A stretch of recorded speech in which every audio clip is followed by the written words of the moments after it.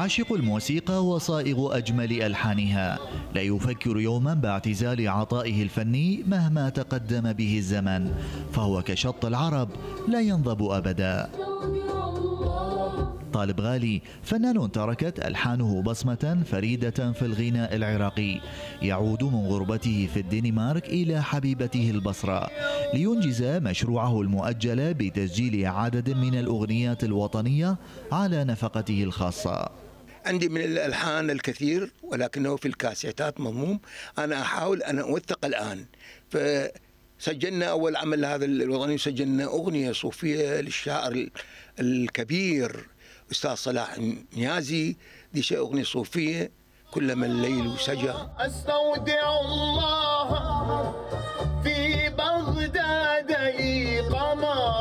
ألحان أغنياته سرعان ما تسيطر على الوجدان وتنفذ إلى القلب وتندمج معها فيما يحتاج أداؤها إلى موهبة عارفة بخبايا الموسيقى ونغمها. هذا ما يقوله الفنان واثق الأديب إذ وقع الاختيار عليه ليوثق بصوته إحدى أغنيات طالب غالي. يعتبر همزة الوصل ما بين الجيل القديم والجيل الشبابي وكذا. فانا لما تعاملت وياه يعني شفت شفت الملحن الكامل اللي يربط القديم بالحداثة وأعماله جدا جدا دقيقة وجميلة جدا يعني بها يعني يعني تنوع بالمقامات والإيقاعات.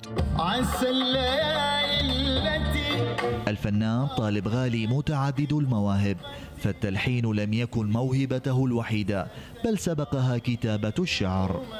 وأقصى أمنياته اليوم أن تخرج أغنياته التي أبدع في تلحينها إلى الجمهور الذي طال غيابه عنه. أنا وثقت ثلاث أغاني جدا جميلة بس عندي ما يربو على 10 أو 15 لحن. وهذه طبعا يراد لها فتره زمنية حتى أسجلها ويراد الهم مصروف مادي مقابل مادي. أنا قلت لك اتصلت كذا فضائية ما وجدت ولا فضائية لبت دعوتي رغم إنه أنا اهداء لهم يعني. أقصى حلمي أن أرى هاي الأعمال تشوفها الناس حتى نزرع البهجة الحلم عندهم نفرحهم نزرع الفرحة الأمل هذا الأمل المستقبل. إحنا يعني مرينا بظروف كلش صعبة تعرف.